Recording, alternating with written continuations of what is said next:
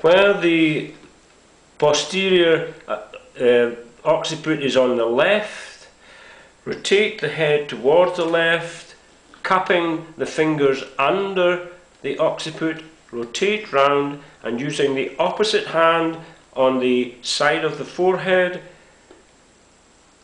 push the hands gently together, creating tension in an oblique way. The right hand is moving in this direction. And hold for at least 15 seconds.